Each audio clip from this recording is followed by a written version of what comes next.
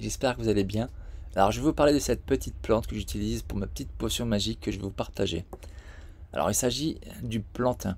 Le plantain c'est une plante qui pousse facilement par terre et que vous pouvez trouver très facilement tout autour de vous. Elle est considérée comme une plante indésirable mais elle a de nombreuses vertus. Alors cette plante peut être utilisée pour vous aider à décharger vos poumons, euh, vous désencombrer les poumons quand vous n'êtes pas très bien. Vous pouvez aussi l'utiliser surtout, euh, moi j'utilise pour les piqûres de moustiques ou les piqûres de guêpes, voire les orties plus fréquemment.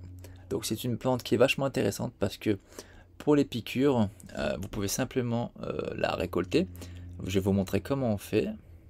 Vous la prenez, vous l'identifiez simplement à travers les nervures qui sont situées derrière la feuille. Et quand vous l'avez identifié, vous pouvez l'utiliser. Elle est très simple à reconnaître, il est difficile de se tromper. Et c'est une plante qui est comestible. Vous la mettez dans un récipient, vous récupérez ce précieux liquide que vous allez recevoir en écrasant la plante mélangée avec un tout petit fond d'eau.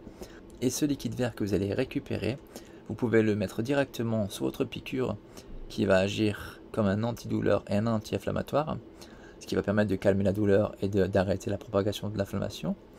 Ou alors, vous pouvez directement le mettre sur un coton et vous déposer ce précieux liquide dans le coton avec la petite plante. Vous posez sur la petite plaie, sur euh, votre petite piqûre et ça va agir. Elle est aussi utilisée pour stopper euh, les saignements sur des petites plaies. Elle a vraiment de nombreuses vertus, donc je vous invite à aller sur internet pour voir les vertus qu'elle possède. Mais c'est vraiment une plante à connaître qui est très simple à identifier et qui pourrait bien vous aider si vous avez surtout des enfants qui se baladent dans les orties.